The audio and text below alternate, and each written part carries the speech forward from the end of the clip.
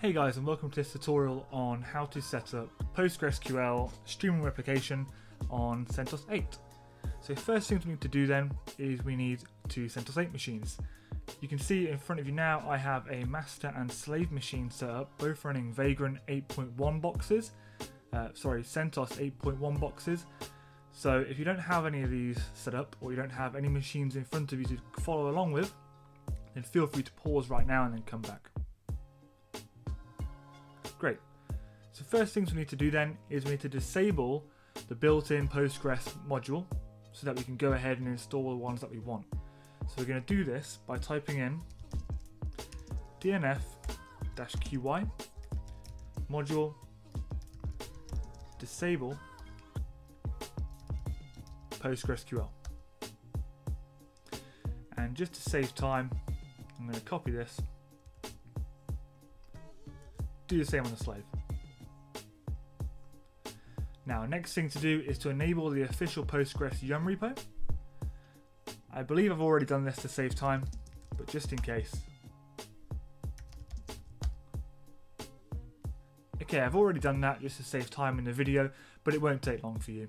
So the next thing we need to do then is use DNF to install both Postgres 12 and Postgres 12 server as follows. DNF install PostgreSQL 12 and PostgreSQL 12 server. Yes to that because it's also going to install the libraries. Great. I'm also going to do the exact same thing on the slave. I'll accept the keys. Now I'll go ahead and install.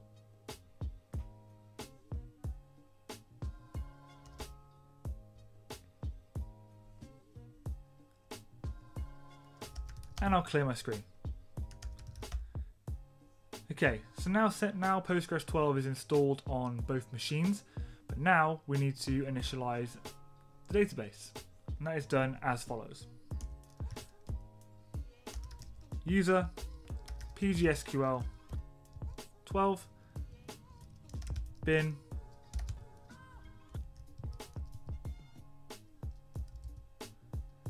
PostgreSQL 12 setup initialize database. Now there is various flags that you can use when you initialize a database but these are entirely up to you and how you want to set things up. For me, I'm just going to go the defaults for the purpose of demonstration. My mistake.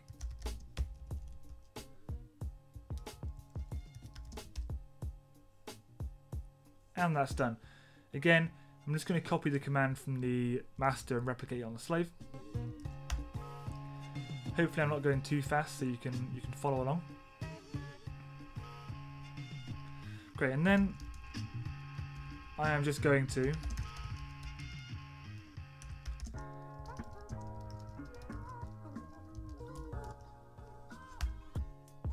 start it on both machines, just so we're all in the same position, installed and started on both machines. So now moving on to actually setting up the replication, we're going to start on the on the master server, and the first thing we're going to do is we're going to alter the system to listen to all incoming client addresses. This is done as follows.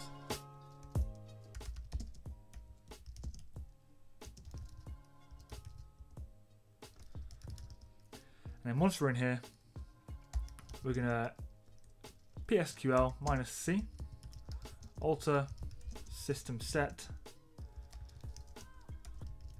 listen addresses to all. Good. Now next thing we need to do is create the user that, that's going to be taking over the replication role for the streaming. And we do this by simply create user, replication, I'm just going to call it replicator.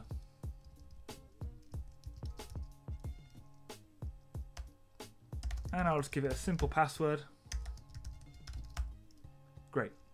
Now, next thing we're going to do, still on the master database, is we're going to add a line for the replicator user at the end of the uh, Postgres HBA.conf file.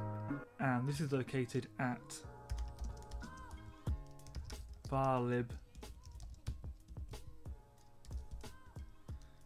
pgsql 12 data pgsql my bad pghba.conf and we're going to add right to the bottom.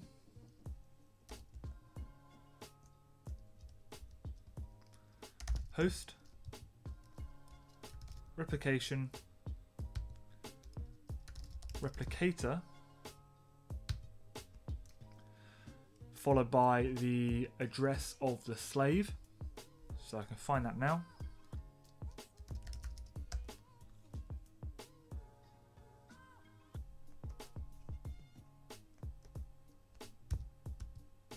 And MD5 great. Next thing we need to do is restart the service.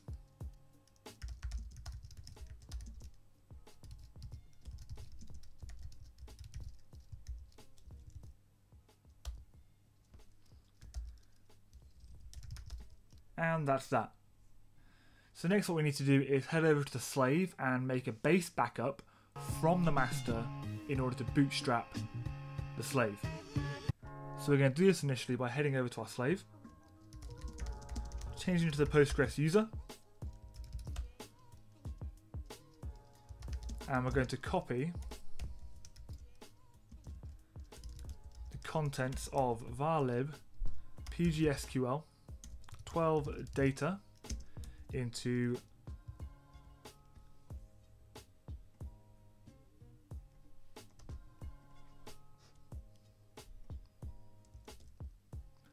exactly the same underscore origin.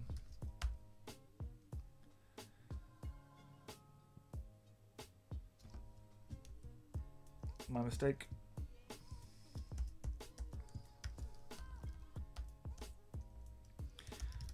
Great. So after that, we're going to remove all the contents of the original data folder.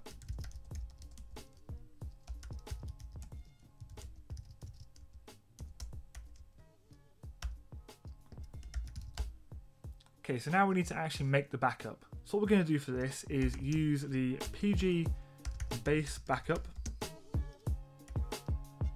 dash h with the IP address of our master. Followed by a dash capital D. Going into the varlib pgsql 12 data folder, dash capital U, replicator user, dash V, dash capital P, dash capital R, dash capital X, stream, dash capital C, dash capital S, PG standby 1.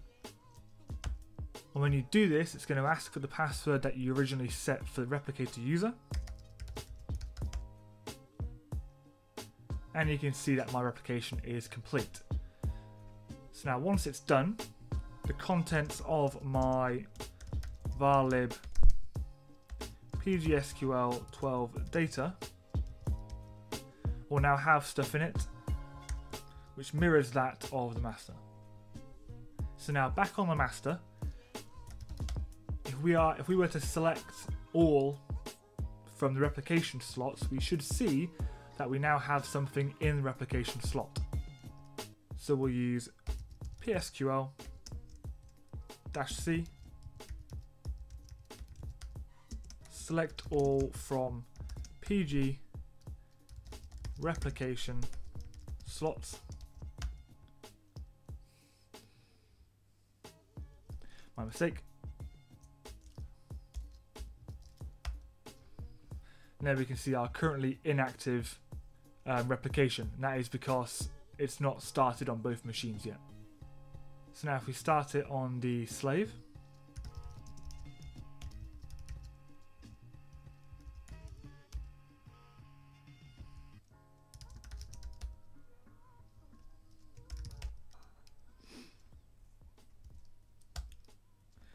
now see that it's true because it's active now. Okay, we'll test this nice and easy. We won't add too much information, but what we will do is on the master, we will just simply create a database. Create database. YouTube. And if we go over to the slave, and it's a list of databases, you can see the YouTube database. So hopefully that helps out with some people out there, um, and hopefully it was enough to follow along with. I'll also add the initial link to the repository in the description, so you can grab that nice and easy and then follow along at home. So hopefully that helped out. If it did, don't forget to subscribe, like, and I'll catch you next time.